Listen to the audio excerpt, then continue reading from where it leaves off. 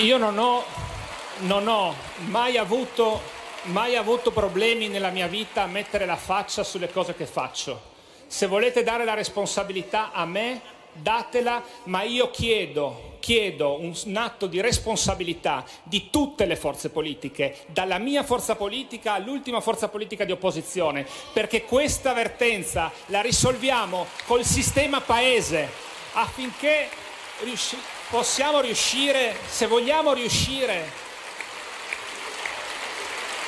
a garantire la continuità produttiva di quello stabilimento, la risposta deve essere del sistema paese, di quest'Aula del Parlamento, dell'altra Aula del Parlamento, delle forze sociali, delle forze sindacali. C'è necessità di un atto di di grande responsabilità di tutte le forze politiche. La politica non si deve fare in questo caso con dei tweet, si fa con serietà. Noi ci mettiamo la faccia e vogliamo essere seri e credibili e dire a quelle aziende, a quella società che non può pensare di aver sottoscritto un accordo e di disattenderlo dopo dieci mesi.